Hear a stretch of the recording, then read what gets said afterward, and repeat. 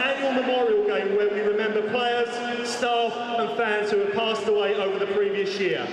We will be observing a minute's applause in remembrance and welcome Nottingham Forest to join in and remember any loved ones they also may have lost in the last year.